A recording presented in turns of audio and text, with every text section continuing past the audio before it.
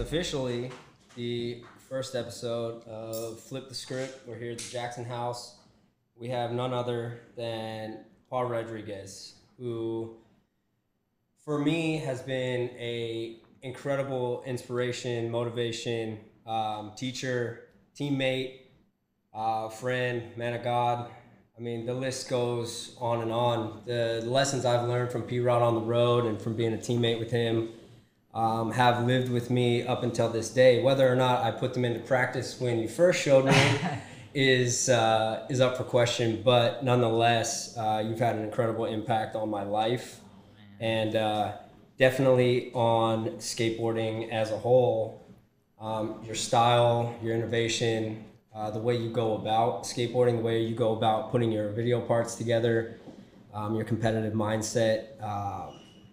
None of it goes unnoticed to fellow skateboarders, and uh, it's an honor to have you here Oh, as you, the brother. first guest. And uh, yeah, Wow. P Rod. Well, thank you. It's my honor, Ryan. I'm really excited to be here today. Uh, you left me speechless right there, man. I appreciate that. It means a lot. You know, we spent a lot of time together over the years, so believe you me, I've learned just as much, if not more, being around you as well. So, On what not to do. no, no, no. A lot of what to do. We we we, we have a little bit of. We have uh, what to dos and what not to dos Yeah. uh, in, in both of our columns. So Yeah, that's fair enough. What's our age gap? I'm 33. Five, I'm 38. Five Okay. years. Yeah, five years. I remember um, meeting you at Tampa. I think that's where we first met. That's the first time I, I remember like talking to you. I think Evan Hernandez was there. Mm-hmm. Yeah, that was the first time we spoke. But I remember the first time I saw you was at a castle contest. Okay. You were eight years old. It was at Simi Valley Skate Yeah. Lab. Okay. I was so I would have been 13. Yeah, I wouldn't Yeah. even have known. You were you were in the uh, division, just the age group, just younger than me, flying around, just killing it. Uh, yeah.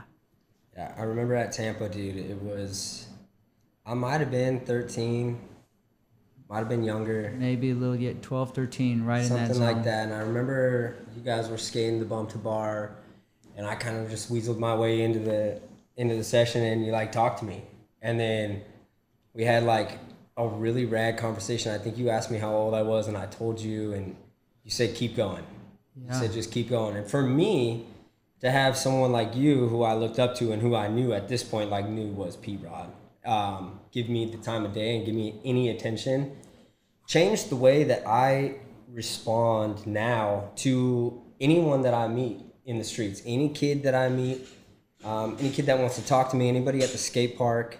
Um, you had a, a lasting impression on just being cool and giving me the time of day. And it was such a, I don't know, it was such like an eye-opening experience because it takes no time. It took nothing from you to just be like, hey man, keep going. Like so simple, but it changed. It changed me and it changed the way I treat people. So like I really appreciate you giving me the time of day.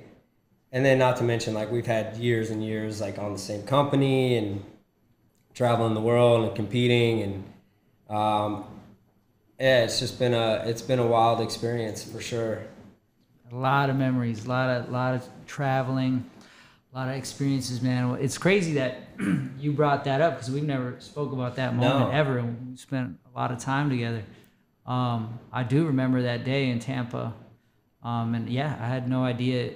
You know, I was also a kid too, so I, I had no idea it was gonna be impactful or stick with you or last. So you just, you know, felt nice to say. You know, you know, Yeah. just like you were killing it. You were so young, and you were always around. Since I had ever been around, you were always around. So like, I never knew of skateboarding not with you in it. And uh, I knew that I had seen you at Skate Lab before, um, and to watch you. And now we both made it to like Tampa contest. Like that's a big Yep. step in itself. Going from like Castle, for people who don't know, that's like the little league for skateboarding. Yeah. So from us making it to little league to basically at Tampa Am, that's like what going to the minor leagues For and then sure. eventually make it to the major league. You know, best analogy I can think of, but. It was just cool, like seeing you again over there, and like, yo, keep going. We we both made it this far. Yep. Let's keep it going, you know. So Yeah, it's it's a that's trip, cool. you know. Speaking of California Amateur Skateboarding League Castle, that was like one of those. It's different now. Like that's actually a good segue. It's like we actually had a really dope amateur skateboarding league to like come up in. You know, like Castle was the thing. If you were skating in mm-hmm. Castle, like you were you were focused on getting up through the rankings and Yeah. kind of my upbringing was a little bit different than yours. You you started, you know, you started skating when it was like super prevalent to like be a street skater. Mm-hmm. When I started skating, I didn't know anything, you know, like so I went for contests. I liked the contest. Not until I was, you know, a seven or eight did I see the toy machine video and was like, whoa, street skating's a thing. You know, this is insane. Yeah, yeah, yeah. But for for us right now, and like for me, I guess the question is like, what had more of an impact on your life when you started skating? Like, did you want to do contests, or was street always a little bit more fulfilling? I wouldn't say street was more fulfilling. Street was just the thing that drew me to skateboarding. You know, the way I the way I was introduced to skateboarding was just from kids at school. They would be outside of school before class would start in the parking lot skating, and then they would be there after school. And I could just I find myself I would walk home to and from the school, uh, and I would find myself like standing there after school just watching them flip the board and landing on it and just like it's so cool like how the hell can they do that? Like i don't understand it's like a magic trick. You know when you see a magician do something you're like i have to know tell me how you do it it was the Yeah. same feeling i had like i had to know so eventually i was really really shy as a kid and uh, eventually um, went up to one of the kids who is still a lifelong friend my friend dan Body, you know dan Yeah, I know so, Dan. um, he was one of the kids skating. I just asked him like, "Hey man, can I, can I try like stepping on your board?" That's crazy. That's how long you've known Dan. Yeah, that's how that's how I Dang, met from Dan. the start. Yeah, and he let Wow. me he let me uh like stand on his board and push around. And so little by little, I would start talking to him, get to know him, Yeah. like start hanging with him and his group, and uh, so that's how I started. That's how I got introduced to skating. Just was like I have to know how it was done. So for that Christmas, I asked my parents for you know some money. Anybody like, what do you want for Christmas? Just a couple dollars. I want to go to the skate shop and pick out my own skateboard. And so that I just started trying to mimic what those guys would do and hang out with the kids at school. Crazy. And so that's what introduced me to, to skating. Then I would go to the, the skate shop, Valley Skate and Surf, which was really close to my house. I would hop over my backyard wall, skate across the street, just go in there and hang out. Little kid, probably looking back on now, pretty annoying. Like the guys behind the counter, like to me they were like grown men, but they were probably like 17, 18 Yeah. working there. For sure. And I would just be like, "What's the best skateboard? Who's the best skater? Oh, can I see this shoe? Oh, can I see that board? What's that? Can I look at that sticker?" And like never buy nothing, but just like Just window shopping, yeah, just, just being there every day, watching videos and going out front, asking if I could skate the flat bar. Uh, and they would just school me on, you know, what the videos were to watch and who to watch, and and I would just like soak it all in like a sponge. So to answer your question, that's how I was introduced to skateboarding was street skating.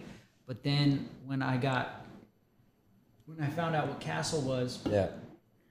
I immediately wanted to to try it. You know, I grew up playing little league baseball, so I played like organized sports when I was even younger than that. So that seemed pretty normal to me, and I would try. And I remember my first. Uh, actually, I don't remember my first first kind. I just remember that first year of doing it. I was so nervous. I I, ne- I didn't know how to handle the nerves and the. And, and my knees would be shaking. I'd be like, I don't understand. I can land all this stuff all the time. Yeah. I, I can't. My legs won't stop shaking. I can't control myself. That's the crazy thing that I think a lot of people don't realize is Yeah. like those nerves are are unless I'm talking to another skateboarder or another athlete that's been in a situation where like you feel like everything is on the line, like you don't understand. I used to cry. I used to like, and especially in Castle, I would like be so ready to skate, and it would get close to my time to go, and I would run off the course, go to my mom, Yeah. and I would cry. Not because of anything else except for just too much nerves. Yeah. And then I'd go back out and it would be fine. But nerves are crazy, dude. They are, and that, believe it or not, for a contest, that's what I fell in love with. Yeah. The psychology of it, like Uh-huh. the like, can I overcome myself right now? Yeah. Yeah. It, it was rarely like, okay, I want to go out there and beat this guy, beat that guy. I want to like not let my fear win. I want to beat my fear and know that I can against still yourself. do this Yeah. with exactly what I can do in practice. I want to know that I can do it when it counts, and I had to like learn. I started studying athletes as I got older. You know, it like it it developed over time, obviously, but like I started like finding a thrill on that challenge of like, okay, can I Yeah. do it in the moment? Can I do it when it counts? Can I do it right here, right now? So I found I just find them two different challenge, like two different challenges. Like contests, you got to do the hardest thing you can do right here, right now, Yep. one try, do or die. And in in in street skating and filming, it's like you could take as long as you want and just try something new and innovative that you can't just do Yep. in a contest yet Take days. yeah, take days, weeks, months, whatever. You might be trying to trick throughout the period of a year or two, like keep going back to it periodically.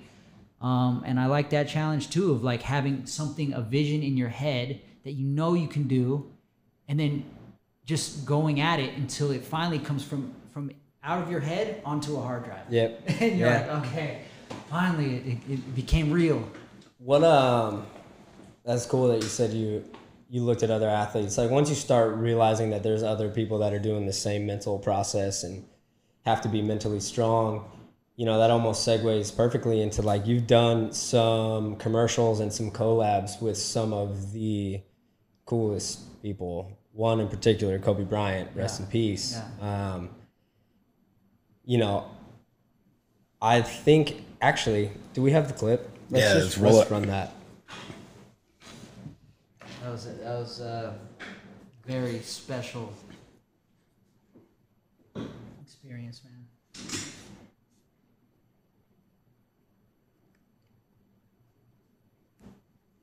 He was he's so normal, dude. He was so Yeah. rad. So what's going through your head when he's there? Is it more like locked in? Are you locked in? Uh, right there, yeah. Because at this point in my life, I was really, really like that was in the heat of us our competing Yeah. era phase, and that that was I was really into like the psychological side of things and mental toughness and all that. So like, I would study Kobe, like like like as if it were like a college course. You know what I mean? I would study Muhammad Ali, study Tiger Woods, I would study anybody, Michael Jordan, anybody who I felt were like the most clutchest athletes there are, and try to like watch documentaries or interviews or anything that I can find any information on. What do you do in here to like to just separate yourself just that little bit, Yeah. you know? So to be around him, I was. That's why I got to know. I was watching that right there, and on the first clip, it shows I missed that switch flip. I slipped out, and I was like, oh, I remember like it's Kobe. I got to do it right here, clutch. I don't want to be having him walk up the stairs 20 takes, you know. And I was like, I got to do it. And I did it second try, but I was like, fuck, I got. I want to do it first. I was like, all right, all right, Mamba mentality. I remember like having this inner dialogue, Yep. and then uh, and then I slipped down. I was like, I was so like, oh, okay, okay, right here, right here, next try. And we did it uh, second try. So it was just surreal to have him there. Uh, I had met him a couple times before that, and the fact that he just agreed to come like Yeah. to the shoot and like be a part of it, like he was just down. I don't know. He, he always had like a every time I talked to him, he would just he would always mention the the time that he tried to skate and he fell and Yeah. and uh I was just I would just be like speechless. I was like uh, I don't I didn't know how, Well, how to dude, talk to him. like Do you remember when he showed up to Maloof, Maloof, Money Cup? yeah, Oh, just right here in Costa Yeah, Mesa. there. yeah, It yeah, was insane. We're, Yeah. we're skating Maloof. yeah. And just I went to of watch you. Yeah, there, Yeah. out of nowhere, there's this like commotion, dude, and I'm like trying to figure out Mm-hmm. what's going on. Like sometimes at those contests, there was like a fight or someone trying to jump over the barrier and get Mm-hmm. in, and like everyone would rush. And I just remember this energy. The energy completely changed. He was wearing like a white outfit, and like he had his Kobe's on, and he just looked he looked dope. He just looked dope Yeah. and he walked in and he was saying what's up to skaters and like i didn't know if you remember me i had seen him at a couple basketball games you know i think i, I don't even know how but we got to sit courtside and um, i was wearing like a laker red bull hat that i had created and um, he like noticed it but then he like knew me he knew of me and said called my name and i like i like panicked. I didn't even know what to say. I was like yeah, like Yeah. Like my buddy Tony, you know Oh, Tony. yeah, yeah. Tony's like, bro, Kobe just said what up to you, and you didn't say anything. I'm like, I couldn't say anything, Freeze, yeah, you know, yeah. like couldn't say anything. So I always wanted to redeem that scenario, and then I saw him at Maloof Money Cup, and he said, "What's up, Ryan?" And um, I got a photo with him that day, and uh, it it's different, dude. Kind of like what you're saying, like going into Mamba mentality. Like, it's weird how a person can have that type of impact on you.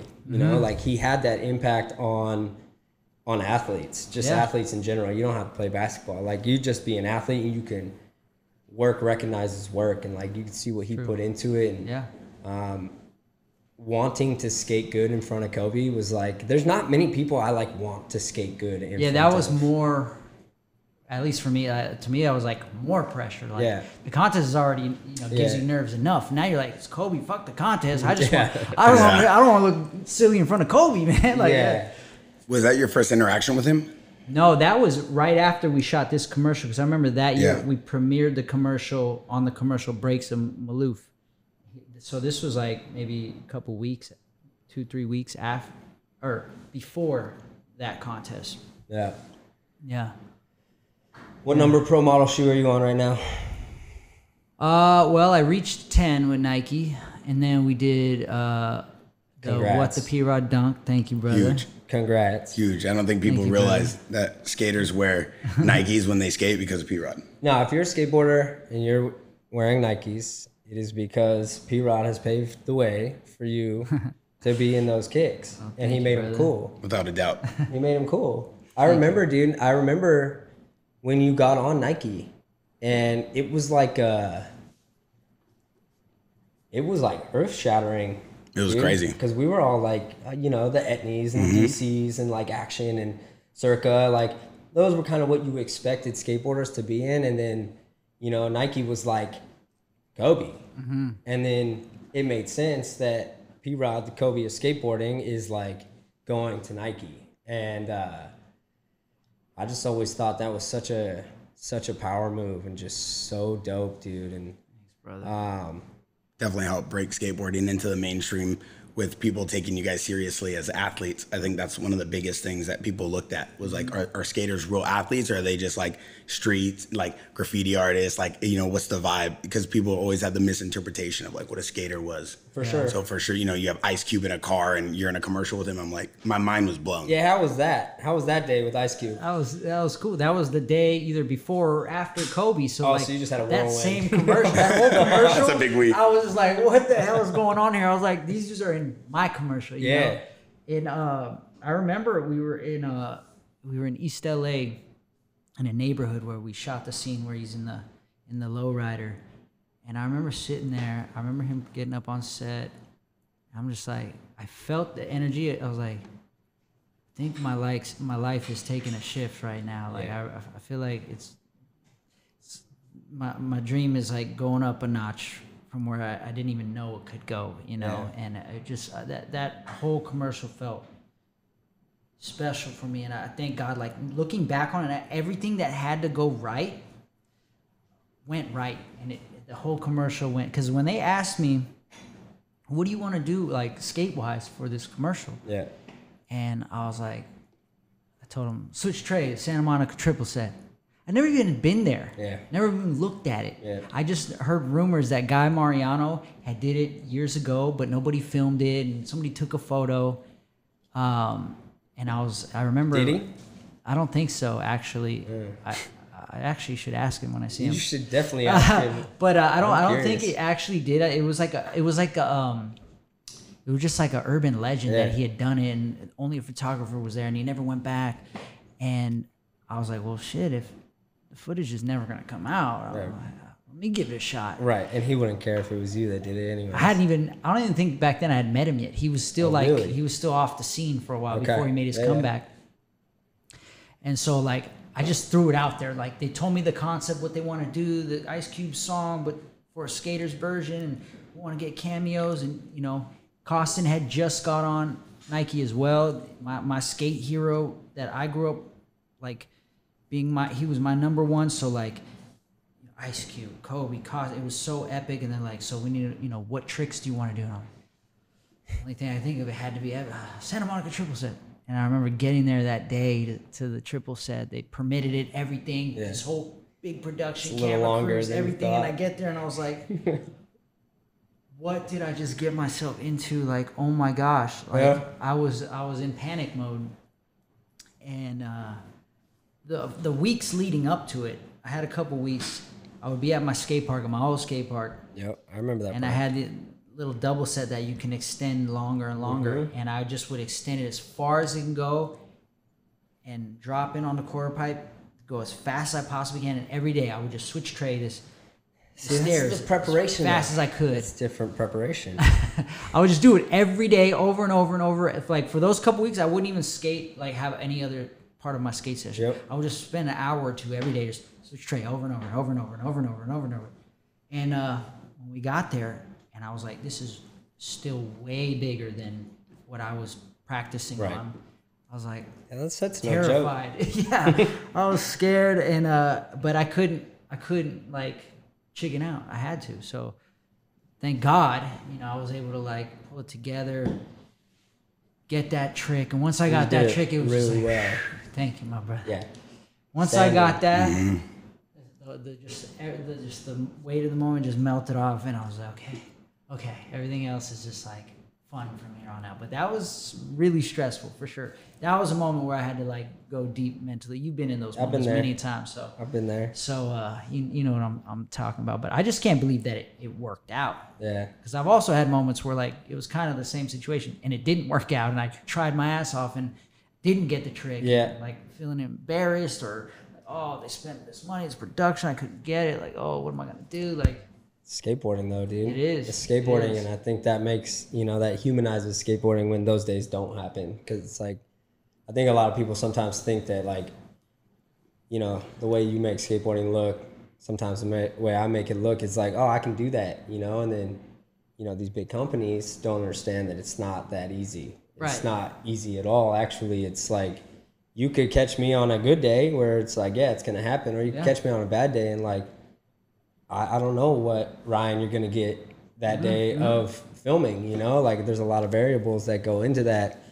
But you know, we were talking about it before this, and you kind of segued into it, and you, you know, you said thank God, and you know, I was talking to you, and I was just saying like my life finally got better, which it's been a lot better, a lot more manageable once I got out of my own way, which I got out of my own will, and I said, all right, Lord, like take it. I trust you. Show me your will for my life. And you've always been that dude to me you know? And i'm not saying you don't have your struggles it, yeah. for sure. I know i know you do have struggles. I know we all do. Um, but you've always been you've always been vocal about god dude. And it's always been something that rang in my head and i was like man you know p-rod dude P-Rod believes in Jesus, like, and I believed in Jesus. I just didn't understand what the Bible meant or what it said or, Yeah, yeah, or what yeah. was going on. And um, I just wanted to share with you that I appreciate your openness about Christ throughout my whole life, dude. I throughout my whole appreciate life, you know, and like you've paved the way for me to be able to acknowledge Christ, talk about Christ openly, and um, not be ashamed in, in the slightest, but also see the effects of like what happens when you start following the Creator's path. So um, I've, I've always wanted to thank you for that, and we don't have to go too deep into it. But I, mean, I, I can go uh, as deep as you want to go into that. You know, I don't. I, I've never. I don't care. Yeah. it's a great conversation. I know? think it is a great conversation, you know, and I think it's um I don't even think it's scary, man. It's just uh it's sometimes I think for people it's the fear of the unknown, which maybe it could have been for me as well, just not really understanding like how he could forgive some of my actions that I had done. Um, but once you get a little bit deeper and you actually realize that like him dying on the cross for my sins is exactly what it sounds like for all of my sins. As long as I try to be a better person and realize that my wrongs are wrong and try not to repeat those wrongs, um, all of a sudden these doors open up that uh, I could have never even planned for or even thought about. Um, case in point is like this podcast, you know, and Bear was asking me who I wanted on it, and immediately I said P Rod. I want P Rod as the first one. It's the catalyst. You've done a lot in your skateboarding career, but you've done a lot for so many people, man.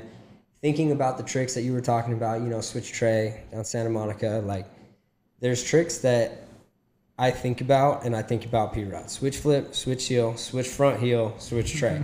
Actually, I still think you don't have a stance. You know, you're like one of the first dudes that like actually don't really have a stance. That's that's that's what I was hoping uh, to get to. I was so trying hard, to get dude. there. That was like my, my vision.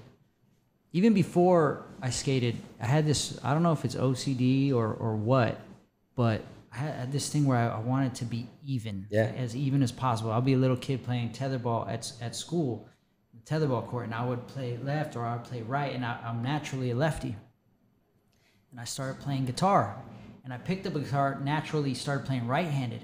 But then my favorite guitar player was Jimi Hendrix, and he played left handed. And I was like, but I'm left handed. And Jimi Hendrix left, what the? I gotta play like, like my hero. Yeah. So I like would take guitar lesson right hand. I told my guitar teacher I wanted to play left hand. I wanted to switch to left. He's like, why would you do that? There's no point in doing that. I was like, well, because, you know, Nirvana's my favorite band. Kurt Cobain plays left handed, and Jimi Hendrix is my favorite guitar player, and he plays left handed, and I'm left handed. He's like, yeah, but there's no point. You don't need to. So like, I would take guitar lesson, That became a challenge. and yeah, and I would do it right-handed. Yeah. And then when he would leave, I had uh, another guitar that had strung left-handed, and I would practice my same guitar lesson left-handed. Makes so, So, much I sense. would bro. try to do that, and so like it just became naturally in skateboarding when I found out what switch was. It just seemed like oh, oh, I got to learn that. Well, yeah, I have to try and be even, and that just became my OCD, my thing, I guess. Yeah, I remember competing against you, bro, and I was like, man, he's gonna do his whole run switch. There's no beating this guy if he does this. Like, there's no beating this guy. And like, bro, you would land full run switch and win the contest, and like, no one was bummed. Everyone was almost in awe. Like, how did he do that? You know, I'd watch your video parts, and I would get confused as to what stance you were, and I think that's the, like the dopest confusion anyone can have as like a skateboarding fan. It's like, man, actually, what stance is this guy? Because you go out, you go try to throw a ball right-handed, whatever hand you are dominant with, and then you try to throw it the same speed, same accuracy with your not dominant hand. It's like it doesn't work. But your skateboarding does that, dude. And I believe that a lot of kids and adults that watch you skate and see how fluid you are, switch and regular, um, are amazed. Which I've always dude. been, bro. And it's like Appreciate it. it's super dope. Um, Thanks.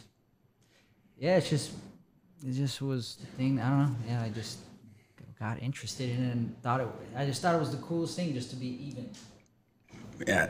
I think it's crazy too to me. Like you talk about being vocal about God and Jesus and your mm-hmm. faith and kind of understanding that like you've been kind of this light for skaters and people that, you know, I'm not a professional skater. I can barely even kickflip or ollie if that. I'll run into a wall. But like we look to you guys and your parts and your videos for inspiration because it's so artistic, right? You guys mm-hmm. are like artists on boards and like the streets kind of your canvas and you're just like kind of flowing with it. And it's things that a normal person can't do mm-hmm. athletically and creatively because you guys are like landing tricks no one could ever even think about.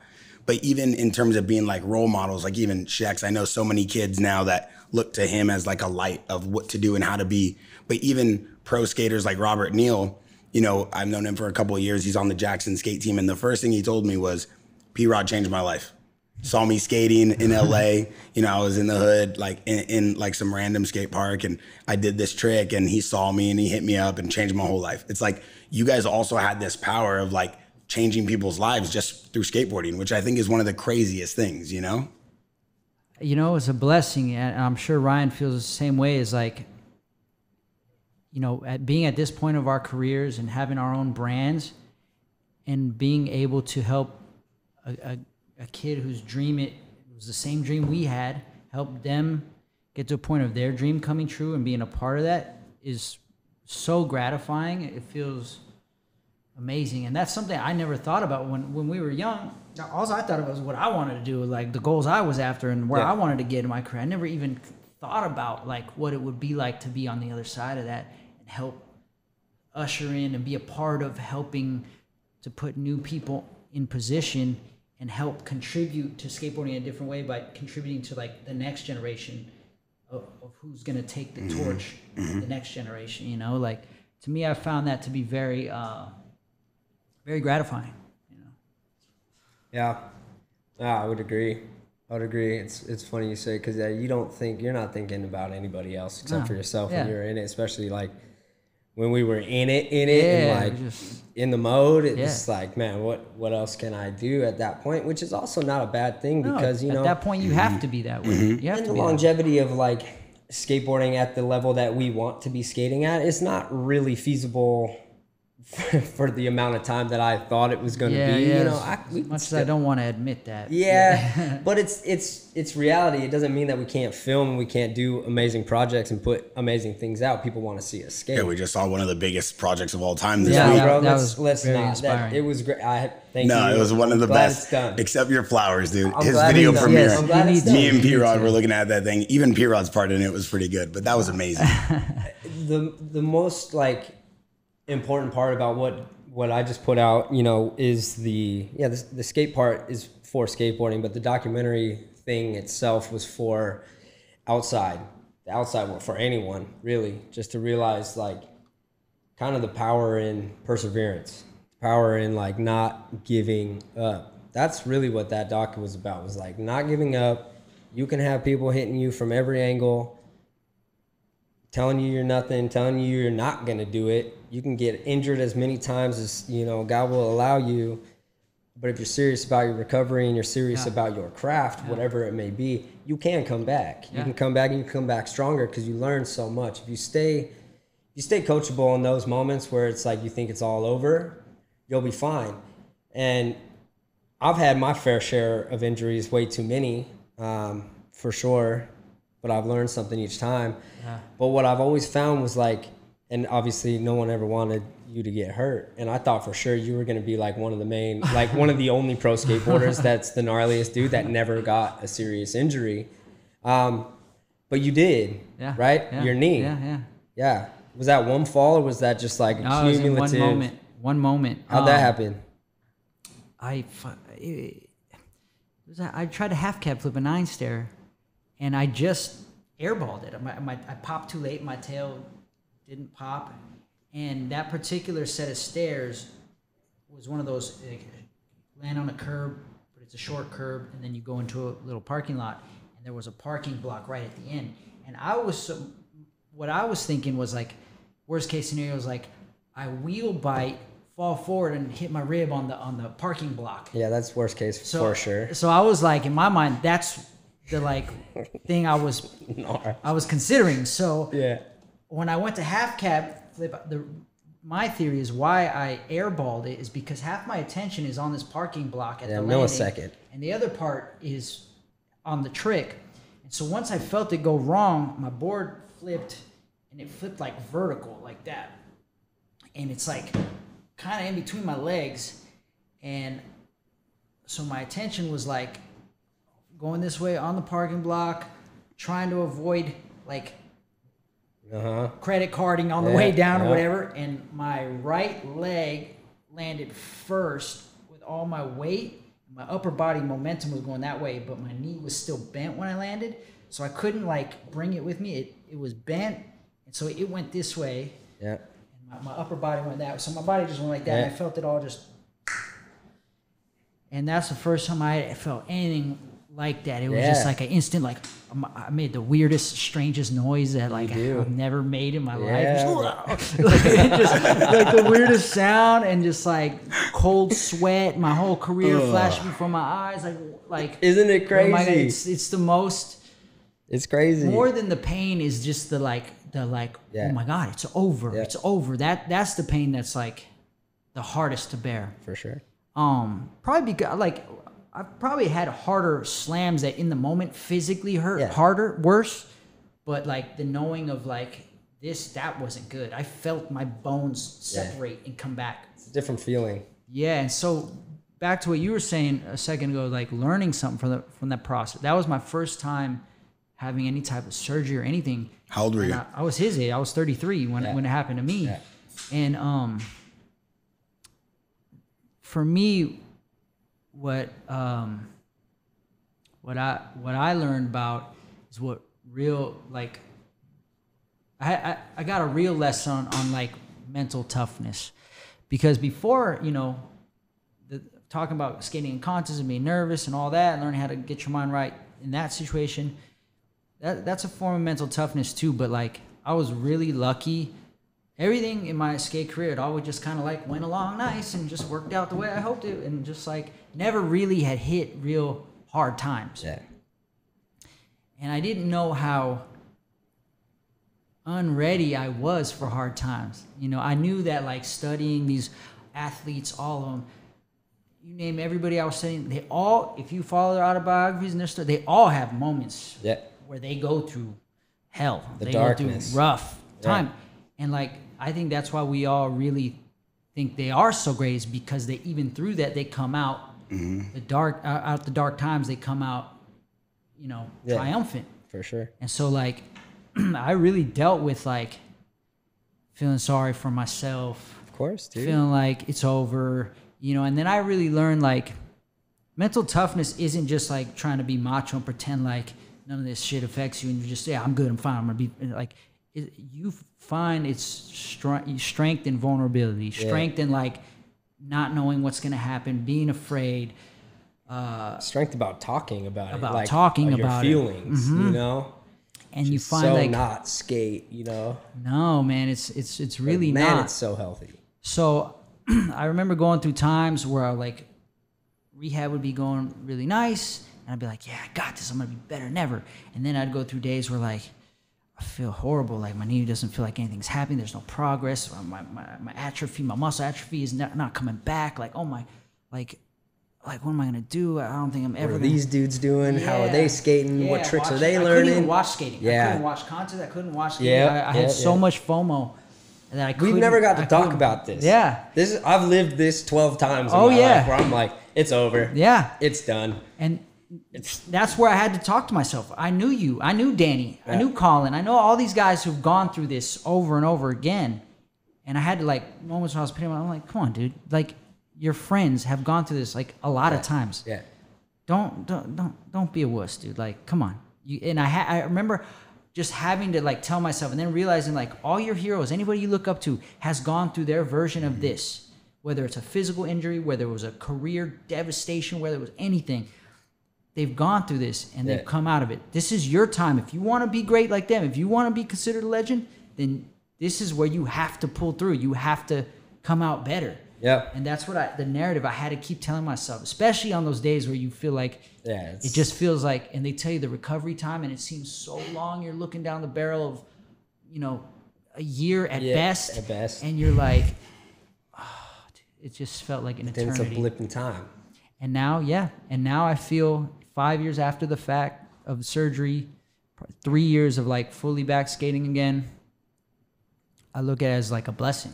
I'm For really, sure.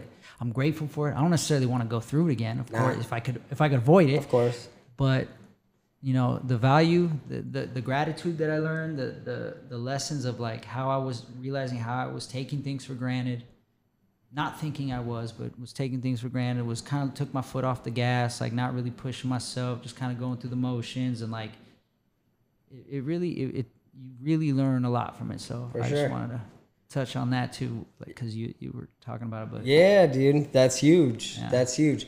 For me, when I got injured, of course, I would do the, the physical therapy and all that, but I found an outlet in getting tattooed.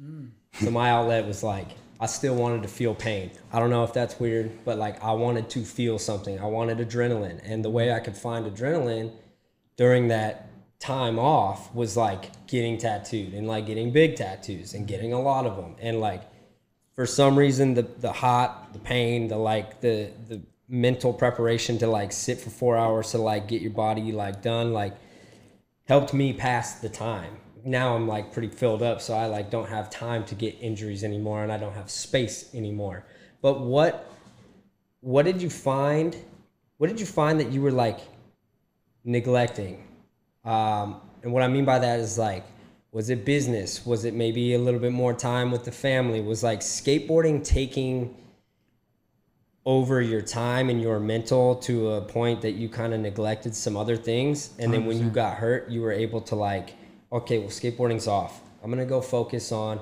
my relationship with my daughter, my, you know, my business, primitive. Like, am I? What can I do for Nike? Like, what can I do behind the scenes? Like, what what did that look like for you? Well, luckily, um, for me, because yeah, that was another thing. Like, if I didn't have an outlet, when that when you're in that period where you're like you're mobile again, but you can't skate again, but you you know like the only thing you really have to do is like go to rehab and work out, and there, and you have that much space, Yeah. free space. That that could be like detrimental for your your mindset, you know. For sure. So luckily, uh, about two years before I had the accident uh, or the the injury, um, I was taking acting classes like a couple times a week. I was like going to acting class, and it was fun. I, I was you know studying the craft, like going to class and like having a scene partner, doing scenes in front of these Yeah, people. bro, you've always been hilarious. I want to touch on that. and sure.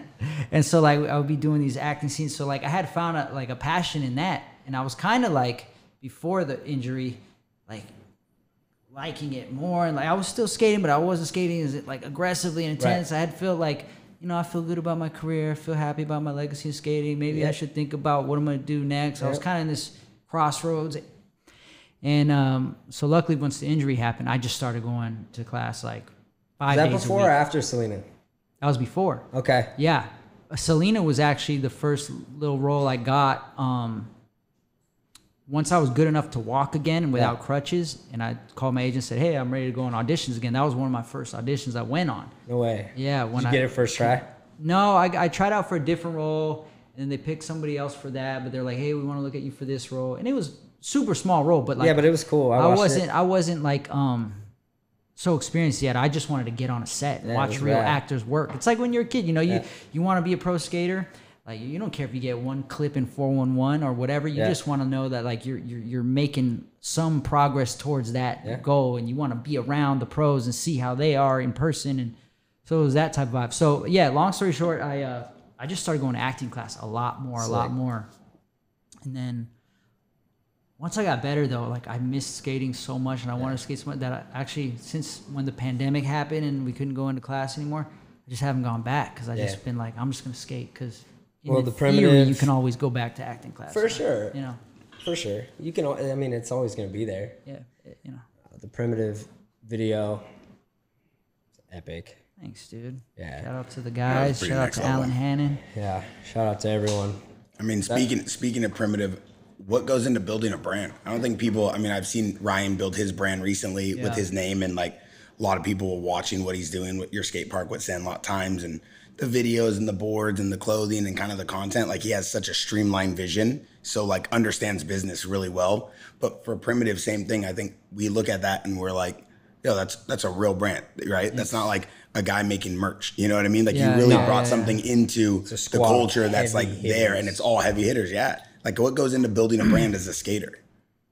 Well, for me, it was just really important to like have a have a skate team that like you know I, that I felt the skate community would would respect. Like be like, those dudes don't play. They they, they know how to skate.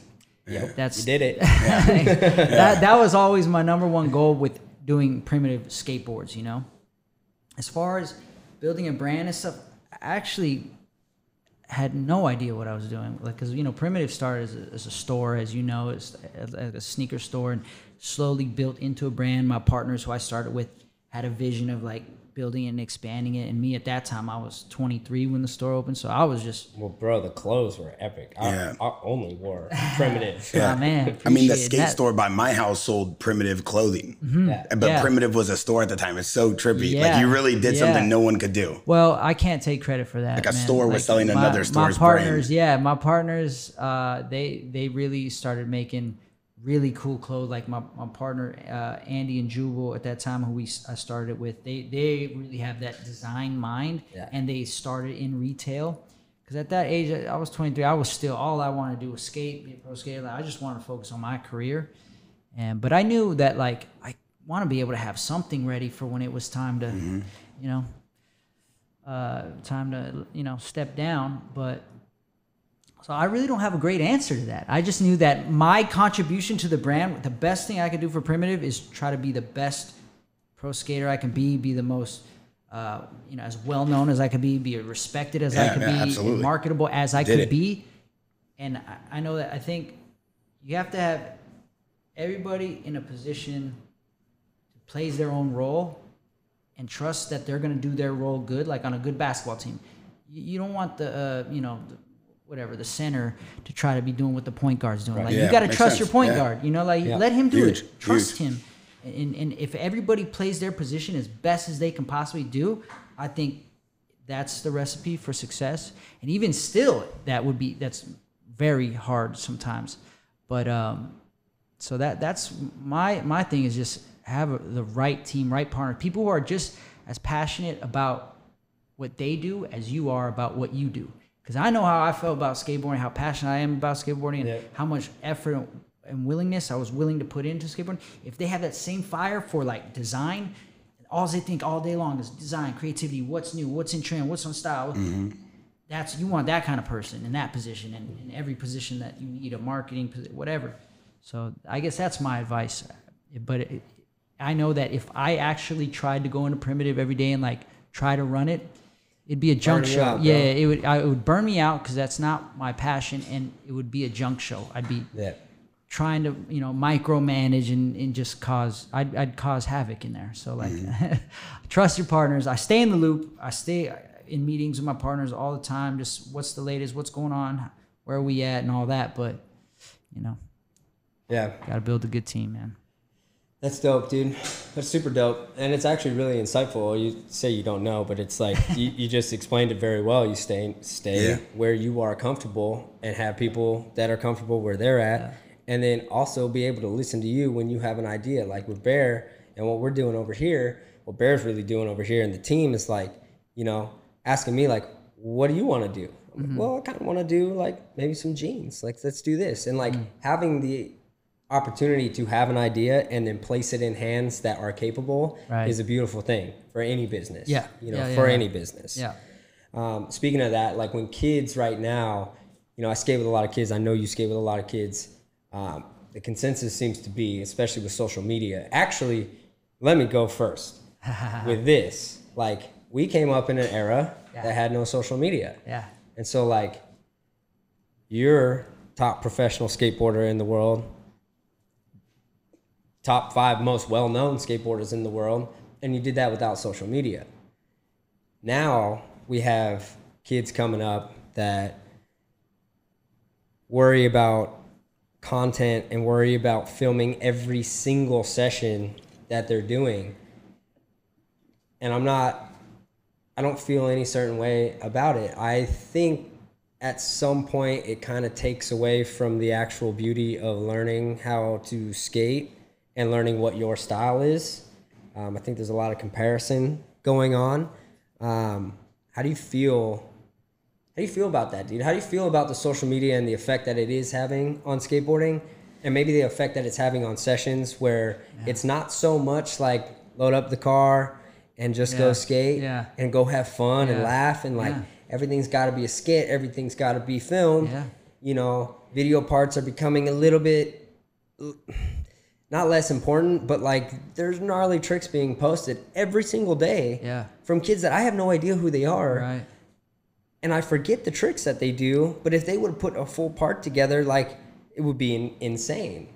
yeah I, I don't know. Like social media, I think is a little gnarly right now in skate. I think there's pros and cons to it all. Um, obviously, like the era we grew up in, I think that's where we fell in love with it. So we're gonna always feel like that's the golden era and special to us. Ooh, I know kids who maybe are 12, 13, 14 for them right now. These will be the times that are golden for them. So when they're 10 years from now, that whatever the kids are doing then, they're gonna be like, you know, my day back in my, we're just Right, those right, dudes, right. the back in my Oh, day guys, you know.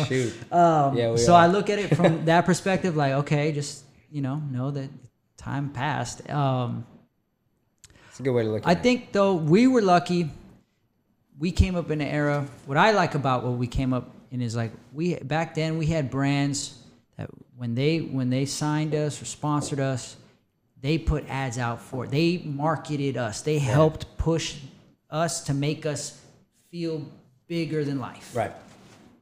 what is hard for me to understand now, maybe because we got so spoiled by that, is Yeah. like a lot of times brands when they sign you now, they want you to not only be the the, the, the skater, the athlete, And the promoter. but they want you to be the marketer too. Yeah. Like, all right, so come up with this idea for a video, come up with, and I'm like, well, it's not where I'm not good at that. Like, that's not Yeah. my expertise. yeah.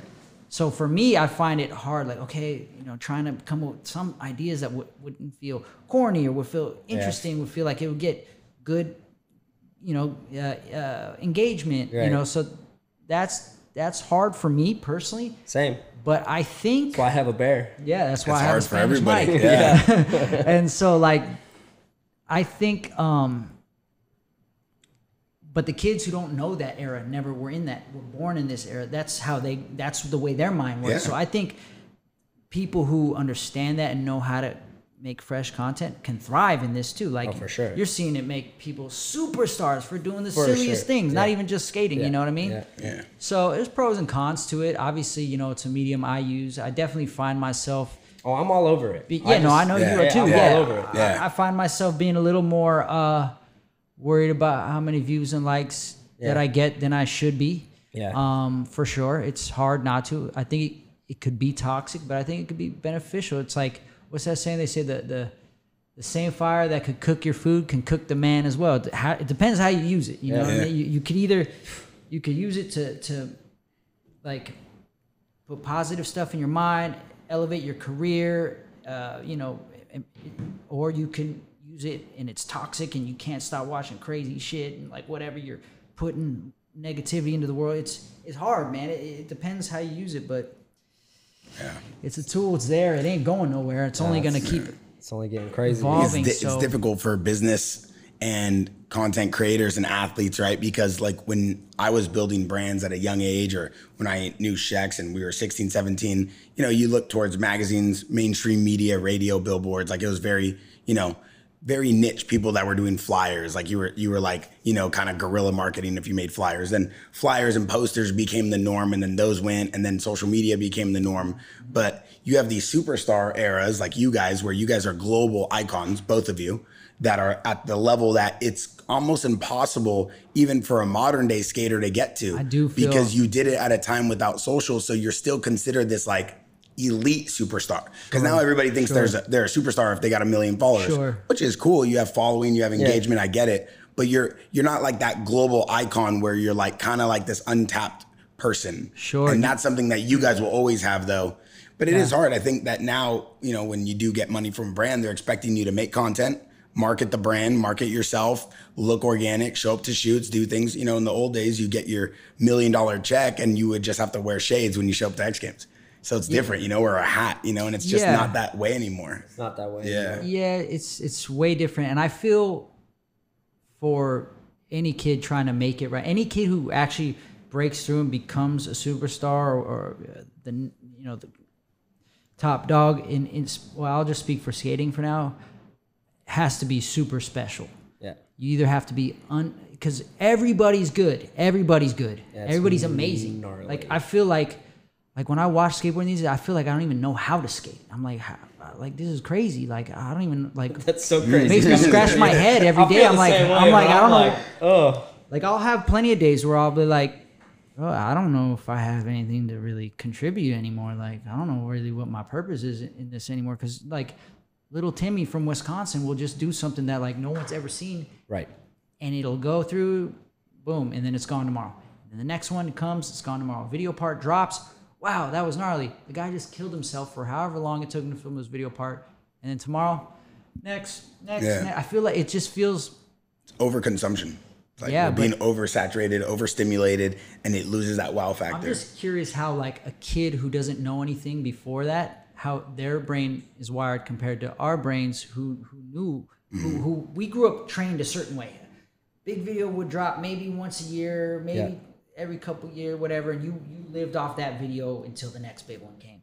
And uh, like I, I'm just curious to know like how their brains are wired for absorbing This much content. Yeah, yeah, It's hard though because I think yeah, putting on out so much footage. I actually lost faith in in in skate videos. I I would talk about this a few years ago. Like I was like, I actually was like, I don't think I'm ever gonna put a video part out again. I think I'm just gonna go on Instagram, post some stuff, whether it's in the Just streets, in the park, and just, and Yeah. just every every few days. Because I was like, we know how hard it is to put video parts out. You just put one out. Like, bro, you know how much your body goes through trying to film a video part, and at least in a certain era, you would it would people would live off that video part for a year, two years, or Right. whatever, till you put out your next one. Right. But now I'm like, as a pro skater, especially you get older and you feel your body, you're like, bro, I'm not about to go through a whole year of trying to kill myself, put a video part together for it to come out, maybe get a week of steam, of juice, of, of people like talking about it, and then it's gone, forgotten. I was like, that the juice is not worth the squeeze right there. I'm like, so I thought there was like the skate the video part was gonna fade out but i don't know i feel like it's kind of s- making a little bit uh, making a comeback now like you just dropped yours i feel like the primitive video when we dropped it and like people are trying to do full length videos now i feel like there's people out there trying to keep that spirit alive of Yeah. that so i don't know i feel maybe it'll re- it'll level out at some point but the spirit's the spirit's alive. I think for me doing this video, it wasn't um, as much as it is for skateboarding because I am a skateboarder. Um, I felt very similar to how you felt, and I had to get my brain to a place where I just realized that this is my craft, this is what I love, and I'm gonna do it for myself. And I'm gonna skate the spots I want to skate, yeah do the tricks I want to do, and uh, it made it a lot more enjoyable. And I'm not to, really, yeah. I wasn't really worried about the, the end result of like likes and follows and whatever. I just wanted it to be done for me. I just wanted to contribute to skateboarding, whether it got seen or not seen. At least I knew I did it, and I did another thing for skateboarding, which I love and which supports me. yeah Um, that's like the healthiest way you can go about it in this day and age you know It's the only reason it got done. It's because I, I wasn't for anyone else except for like selfishly for myself. I wanted to finish a part. But th- that's like healthy selfish, yeah. you know. Yeah, it was it was healthy for sure. Um, but my life's just in a completely different place. You've been a dad for how, how old's your daughter now? 14, 14, bro. 14 years, yeah. So crazy.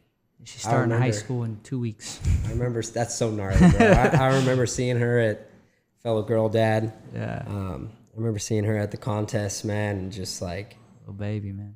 I was always I was always so stoked to see that and I, and at that time where I was at mentally, I, I never thought I'd be a dad. I never thought I'd be able to settle I mean, down. you were still a teenager yourself, you know. For sure.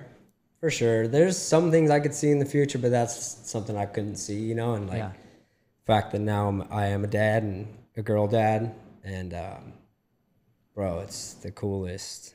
It's the coolest thing ever and you know, someone asked me and I wanted to ask you, which clearly you did not, you know, was like, are you going to chill out skating or like you to I just said I be, I've become a little bit more calculated, but I'm not chilling out on what I want to do or how I want to skate.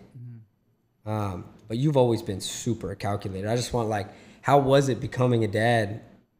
At because that was at like the height, dude. 14 years I ago. was Yeah, 23 when she was born, just about to be 24. yeah, yeah. You were firing on all cylinders.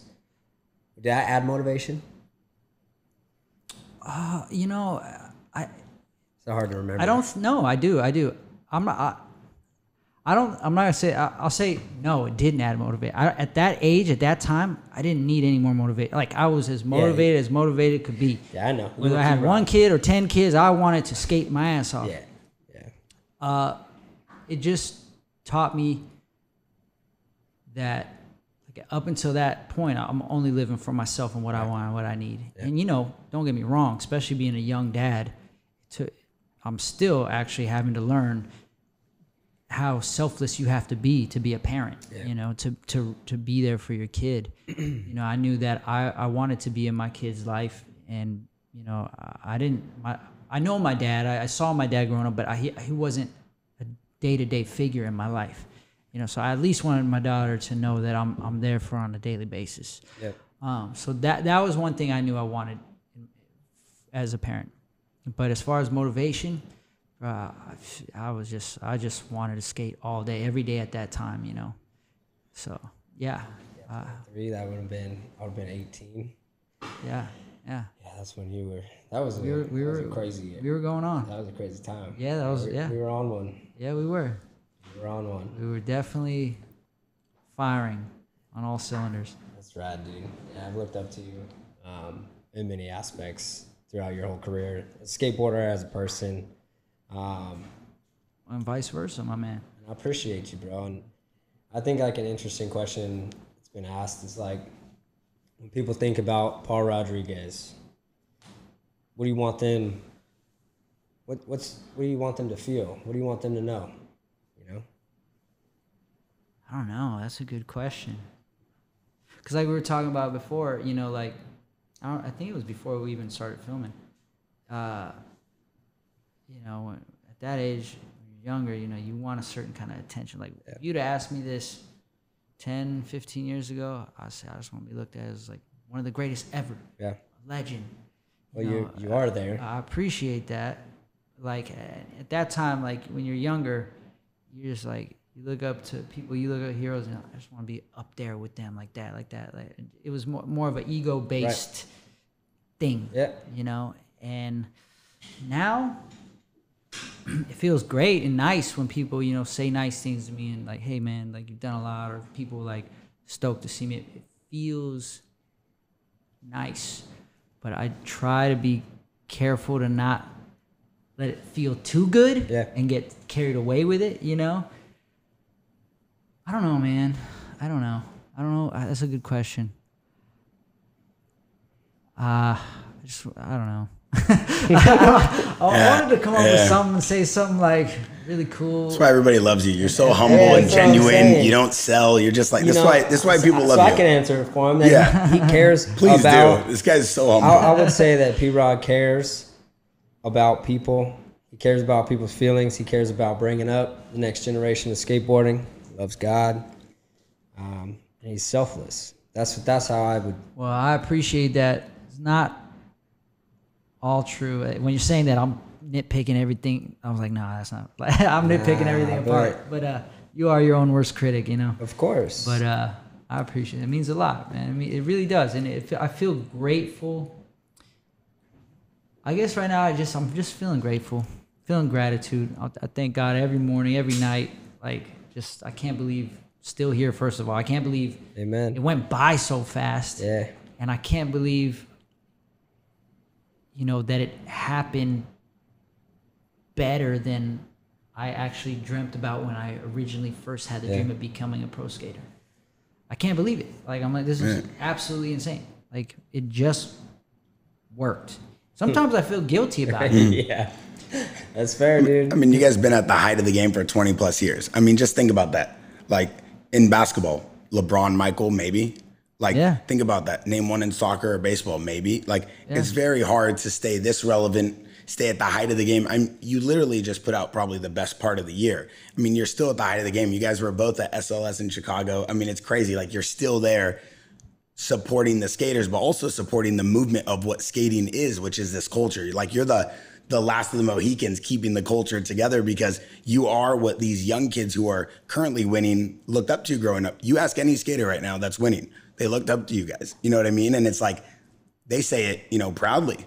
You know, and I think that's the craziest thing that people don't realize about skating. And that's why skating is always at the center of culture, of fashion, of style, of arts. Why artists and celebrities like them in music videos and fashion designers use skating and clothing is because skating is that limitless, timeless art form that everybody loves. And you guys have been at the height forever. I mean, it's just cool. It's cool. It's the coolest thing. Skating's just cool. It, Jumping remain, off buildings and it remains cool.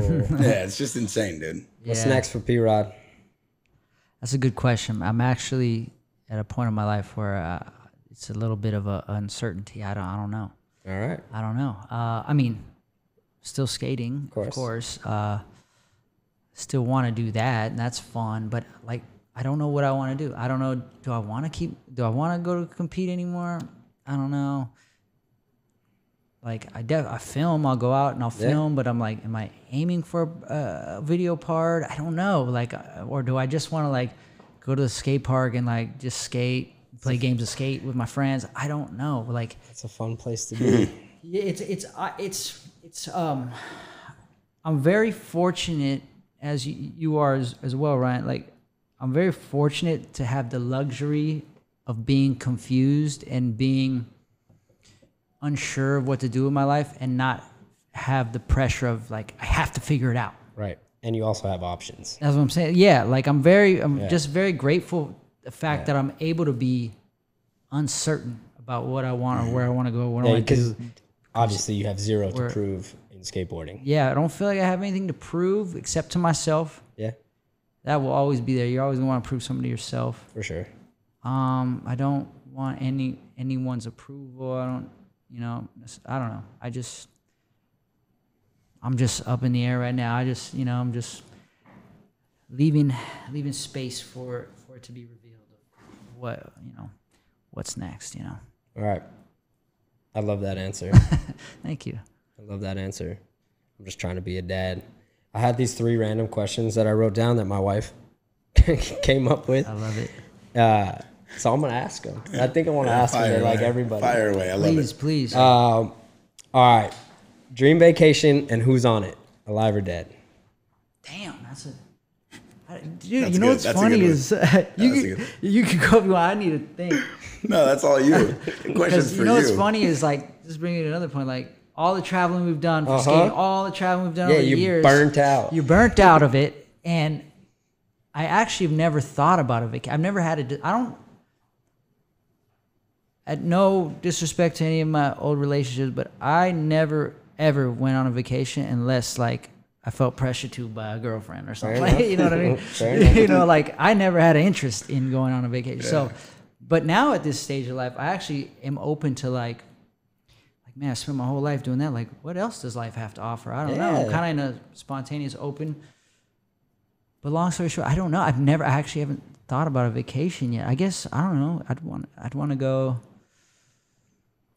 Maybe you know, like I've been to Europe plenty, but like Yeah. maybe I actually want to like go to Europe and see the stuff that I didn't get to see. You know, like I want to see like the Colosseum. I want to see like just like go to the Louvre and walk through the whole museum or stuff like that. I guess maybe like I don't know who would be on it. I want to take my daughter around the world. She's old enough now. I can travel with her and like she she's independent and all that.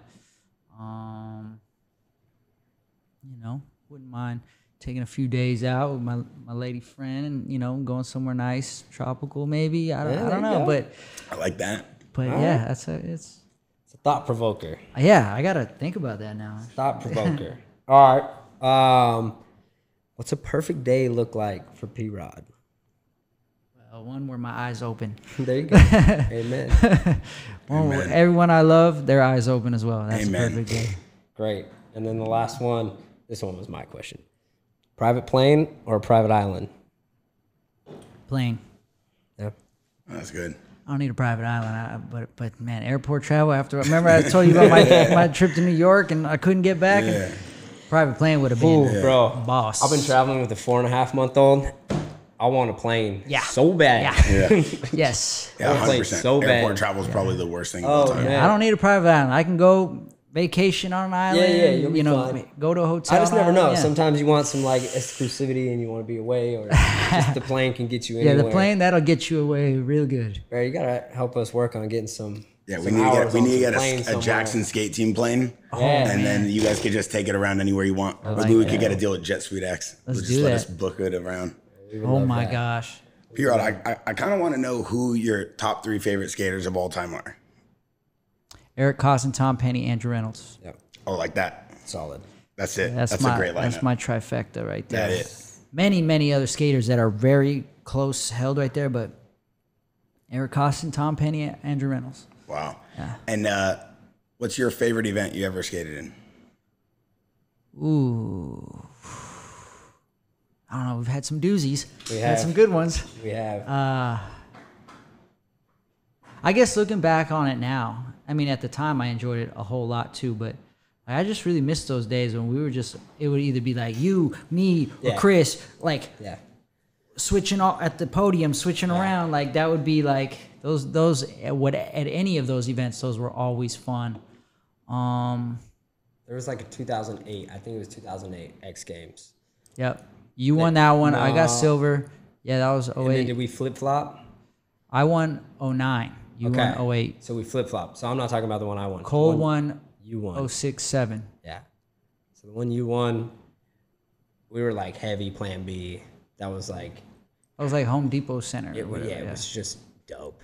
It was just dope, and I'll never forget that. And there's like my favorite photo that I post almost every year for your birthday, us hugging on the thing, because it's it's more than like, and we have tons of photos together. There's something about that photo and like the the pure joy for me, like watching what you did, competing with you, and like holding my own, but like knowing that you won. Like I knew you won, but I just wanted to be on the podium with you. You know, like at that point, it was just like P Rod's going. Like I gotta get, I gotta get on that podium, and like to go one and two, the way we did. I think I'm wearing a red shirt, you're wearing a white, and we're just like, we're just genuinely stoked Yeah. for each other. Yeah, Like yeah. that camaraderie in skateboarding, like that's what made me love skateboarding. That's what made me love competing. Yeah. Um, and at, at some point that, you know, kind of just the love for competing just went away. Maybe I, the ego got out of it or, or something happened where the fire just No, wasn't. same. I feel that way right now. Uh, like fire. I I like the memory of that, Yeah. but like the fi- like. Uh, yeah, it, you have to have a fire. You have to really like want to go out and try to try to Win. win. And Yeah. in skateboarding, it was kind of taboo to be like, I want to win. Yeah.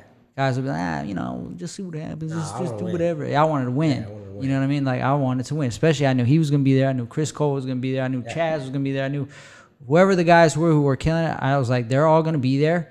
And it felt so good on a day when you could finally get a win with all those guys all in attendance, all skating great. And you're like, that day, man, dude, I was able to battle and go toe to toe with these guys and like pull out a win. And we all got our fair share of those. You know what I mean? We like, did. and so like, it just was Bro, cool.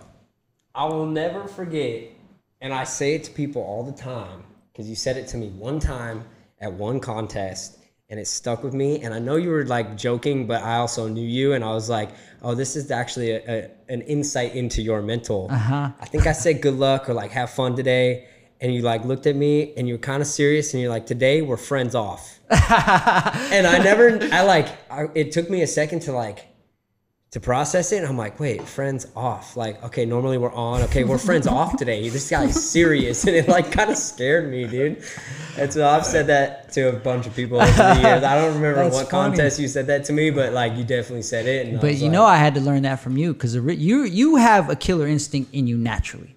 I fair. I naturally am like a, uh not a competitive person outside of this. yeah. Some of my friends will say different if we're playing like uh like like eight up at the basketball court. But other than that, like I'm not competitive by nature. And I had to learn how to be competitive with skating. Yeah. Um, I had to learn how, like, like all that during that era. I was telling you, studying all these guys, their mental. T- I had to learn, and I saw what, like, I would see what they were talking about, and I would see it in you. You know, you have it. Nigel has it. It's just, it's a certain killer instinct to where in the moment when you have to do it, somehow you guys always do it. You always pull it, and I'm like, how? What is that? I was like, I could do it, ten out of ten in practice. Yep. And if but if I need to right here, it's a yeah, it's a, it's 50-50. If I, need know. you know in that moment. So like I had to learn so like probably I'm in that moment when I said that I was probably like, nah man, I'm I'm gonna be a killer today. I got a killer instinct. Bro, it worked. it worked for sure. Yeah, that's funny. And then I saw, I'm sure we all watched it, the the USA basketball team uh, Yeah. documentary, and then Kobe's like, I'm running through Pau's chest, like like that's that's like what a real killer does, you know. So I was that was me trying to, you know, be a, be a baby killer. Not It worked. That, that sounded remember bad, like being a, Yeah, ju- we know what you mean. a junior killer. We'll edit that. out. We'll edit that. out. Um, Yeah. Nah, dude. That was it's uh it's just a pleasure to be your to be your friend and like to be in the same world that you're in and be able Thanks, to have man. these conversations you know and um you know I, i'll just i'm just uh i'm stoked man i'm stoked and i feel blessed and, and thankful that i got to spend so many years with you and especially like those plan b years were like s- some of the best for me ever i don't think i've ever been on a squad at that time that was that even touches that and the trips that we went on and the memories Special, special that era, were dude. made like Special that there's era. nothing that compares to that for me and so for you to be a part of that um, and a part of those memories and, and and really a part of the best times in skateboarding for me um, vice versa, man. Like super like, uh, thankful Me too. Very grateful. Grateful to know you. Grateful to see where you are. Grateful to see you here doing your thing. Uh, just uh, you know, it's you got to be grateful in life, man. I don't. I, I think it's like it's it's the most important thing. I think. way too short man just kind of pay it forward and give it back and try to do what we can through experience for this next generation it's not about telling someone what to do it's about telling them what happened to me and allowing them to make their own decisions. We've been Yeah, through it. yeah, You know, we've been through a lot of um, experiences that all of these kids are going to go through coming up if you want skateboarding to be your life. Yeah. And um, I think we owe it to to them to at least share our experience um, so they can make their own decision on whether or not they want to follow that path or not do, you know, not do that. Maybe get some more longevity out of it. Um, Yeah. We're very lucky for the longevity we've had. I mean, obviously, we can all count a number of people off the top of our heads who were here and gone. yeah. And literally gone, not here with us anymore. And God Oh, Yeah, rest their that too. souls. Yeah, you know? yeah, yeah, yeah, in that way as well. Yeah, but like, you- we we got lucky in in, a, in for the sake of convenience, we'll call it a sport. In a sport where where you're not guaranteed uh, many years, and you weren't by the ti- by late twenties, you, you were considered old. Like when I started coming in the game, like Mm-hmm. Yeah. you were 27, 28, you were on your way out. Yeah. You know, so Well, it's cool to be here. Ten years post that. You know. still doing it. yeah, yeah, yeah. Yeah, uh, I mean that was uh, that was our first episode. Paul Rodriguez himself. This is Flip the Script, Jaxxon House, and uh, thank y'all for watching and tuning in. Thank you Uh, guys. very insightful stuff. Thank you for being here, P Rod. My Thank pleasure. You, Bear. Thank you, Bear. Facilitating this room and this, uh, this awesome opportunity. Love you guys. I don't know who's coming up next. We'll see. Keep you posted.